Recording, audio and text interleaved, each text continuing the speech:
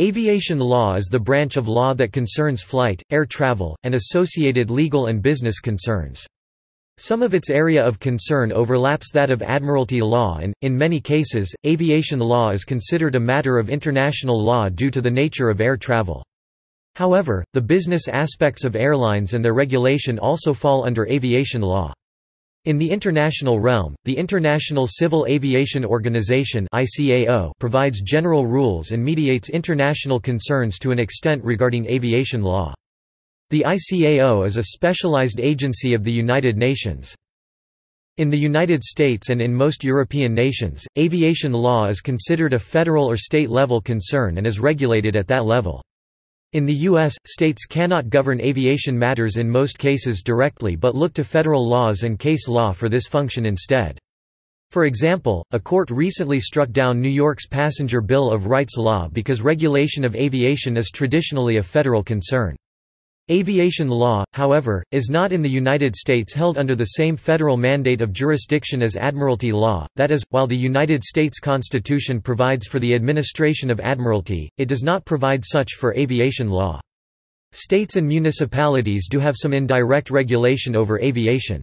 For example, zoning laws can require an airport to be located away from residential areas, and airport usage can be restricted to certain times of day. State product liabilities law are not preempted by federal law and in most cases, aviation manufacturers may be held strictly liable for defects in aviation products. Space law, which governs matters in outer space beyond the Earth's atmosphere, is a rather new area of law but one that already has its own journals and academic support. Much of space law is connected to aviation law. History Roman law and other ancient legal systems generally granted all rights in airspace to the owner of the underlying land. The first law specifically applicable to aircraft was a local ordinance enacted in Paris in 1784, one year after the first hot air balloon flight by the Montgolfier brothers. Several tort cases involving balloonists were tried in common law jurisdictions during the 19th century. Development of public international law Balloons were used in the Franco-German War of 1870–71, and the First Hague Conference of 1899 set a five-year moratorium on the use of balloons in combat operations, which was not renewed by the Second Hague Conference 1907. Prior to World War I, several nations signed bilateral agreements regarding the legal status of international flights, and during the war, several nations took the step of prohibiting flights over their territory. Several competing multilateral treaty regimes were established in the wake of the war, including the Paris Convention of 1919, Ibero-American Convention 1926, and the Havana Convention 1928.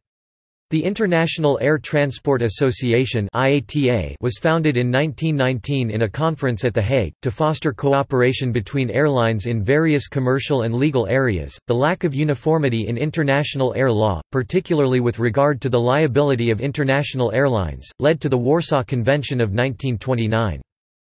The Chicago Convention on International Civil Aviation was signed in 1944, during World War II.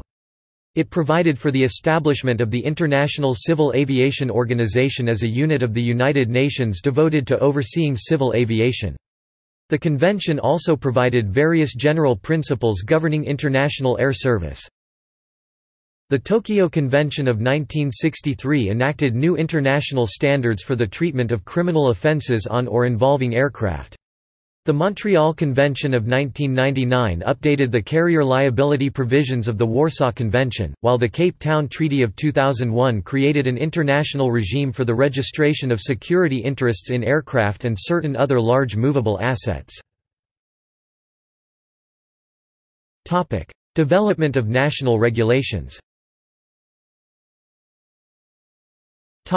British Commonwealth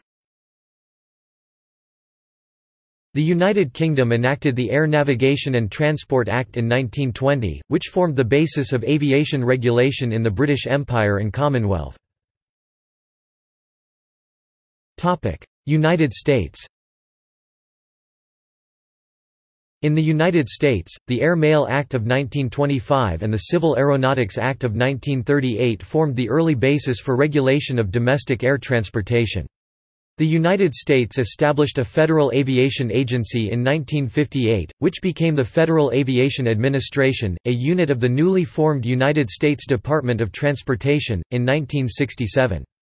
The Airline Deregulation Act of 1978 was a watershed in the U.S. air transportation industry, and it greatly increased the regulatory workload of the FAA as new operators were allowed to apply for operating certificates.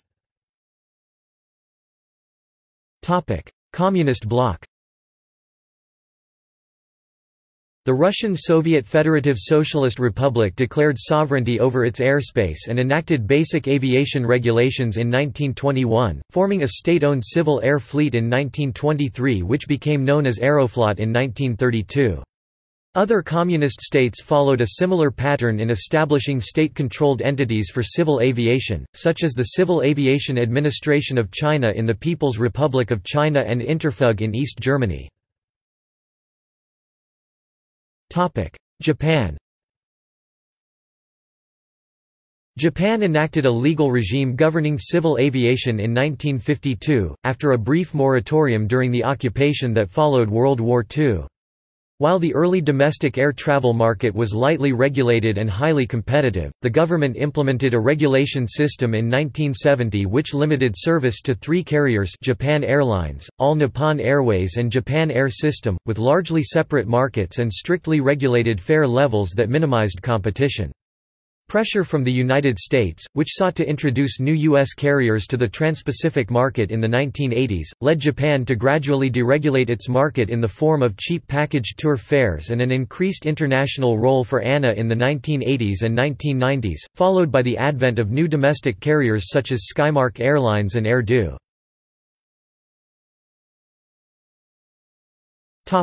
Notable aviation lawyers Kenneth Beaumont Stephen Latchford Mary Schiavo. References